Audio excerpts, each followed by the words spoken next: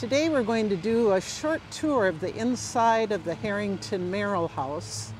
The house was built in 1857 to 1858 by Lewis Harrington and his wife Ellen. We're going to walk up to the front door here and welcome you into the house. We're entering right now, which would have been the outer hallway.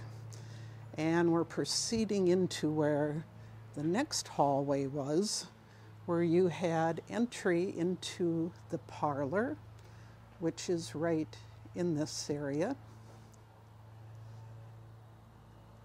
There was a fireplace next to the front door here.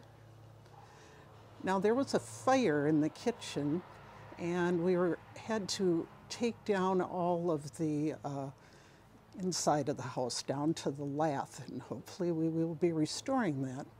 We're now walking into what was the sitting room. And there's a nice bay window here. This was added later, not part of the very original design. I was told that this was Ellen Harrington's favorite spot to sit and she could look out at the world. Then we'll proceed back here.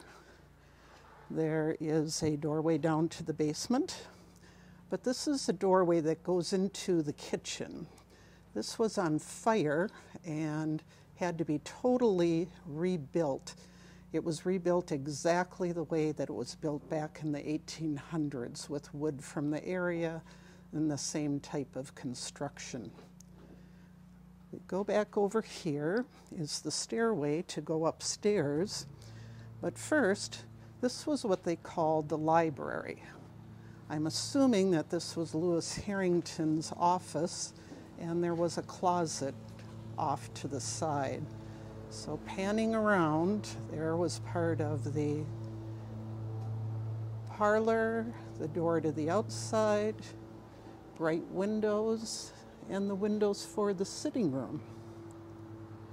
Now we'll go up the stairs part of the banister is missing. There is part of it here. Our hope is to restore the inside of the house at some point. Okay, we're at the top of the stairway. This looks like some very old circuitry here. This room is above the summer kitchen, or the winter kitchen, I guess and this was added on at a later date. It was one of the bedrooms. It's a nice window over the stairway.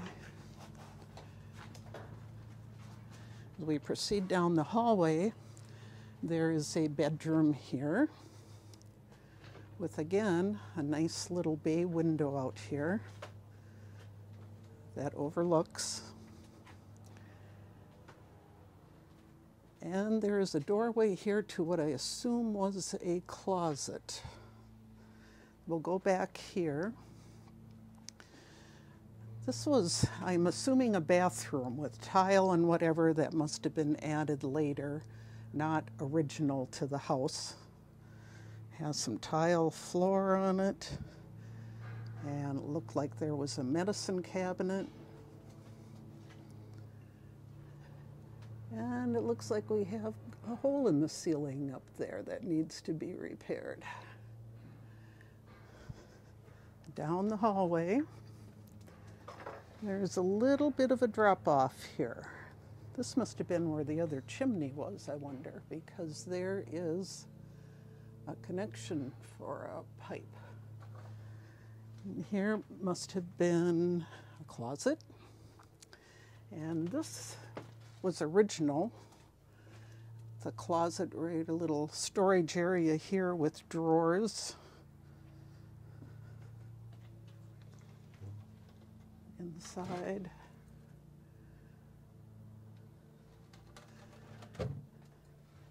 And the last bedroom. This is on the east side of the house. It's quite a large room, actually. Nice views. Originally, this is, this is the highest spot in Hutchinson, and we were told that Lewis wanted it that way so that he could see any oncoming people that were coming in, either by boat or by on the roads. And here's more of the bedroom.